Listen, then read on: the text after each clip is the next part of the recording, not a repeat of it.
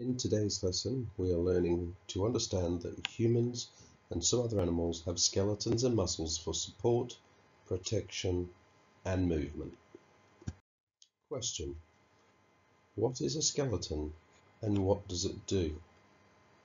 Just spend uh, a short time to list three to five ideas that you can think of that what, what sort of things a skeleton does.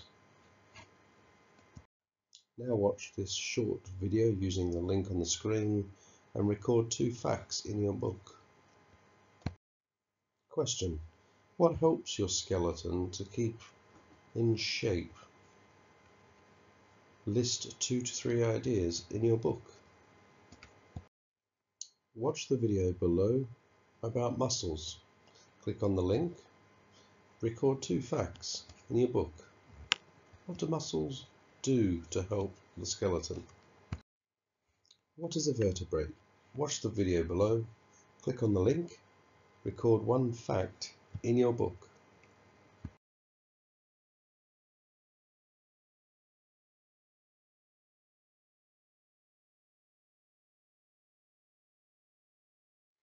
What is an invertebrate? Watch the video below, click on the link. Record one fact in your book. What is an endoskeleton?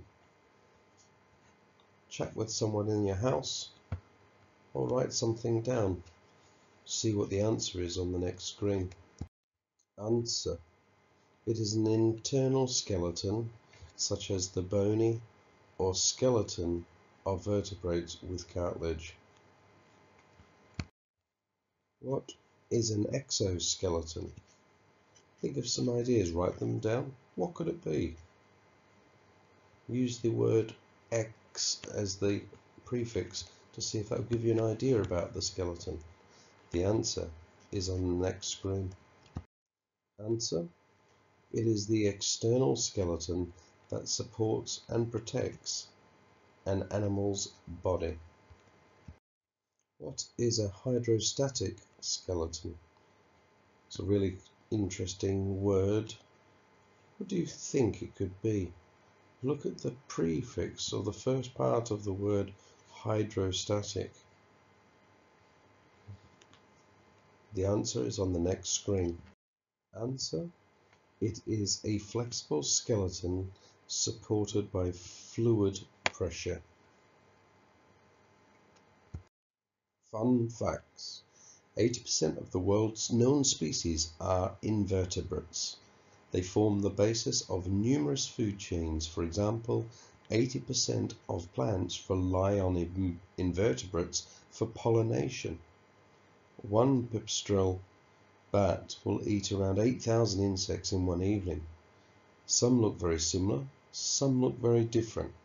One thing they all have in common is that none of them have a spine or backbone. Keywords. These are some of the words that you'll come across while studying our non-chronological report text. Classification. Grouping living things into categories based on similarities. Vertebrate. Animal with a backbone. Invertebrate. An animal without a backbone. Mammal. Animals covered in fur or hair that give birth to to live young. Reptile, animals covered in dry scales that lay leathery eggs. Fish, animals covered in wet scales that lay jelly-like eggs. Bird, animals covered in feathers that lay hard eggs.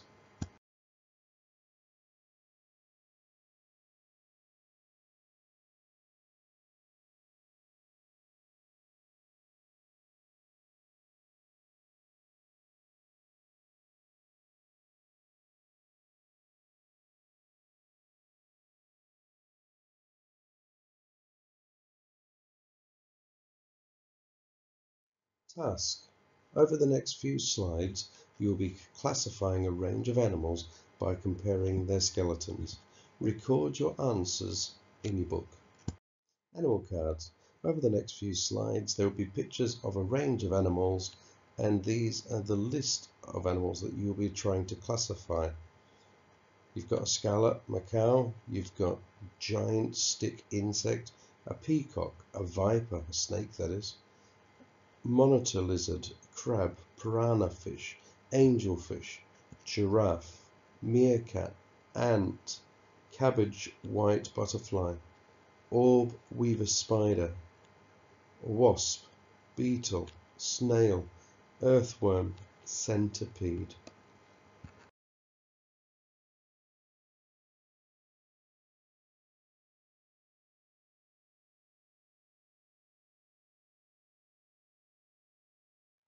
Using each one of these animals, can you classify it as a vertebrate or an invertebrate?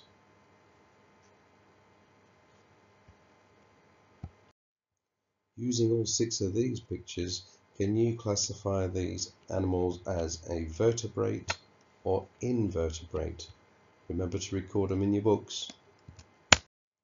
These the last six animal cards. Can you classify these into a vertebrate or invertebrate?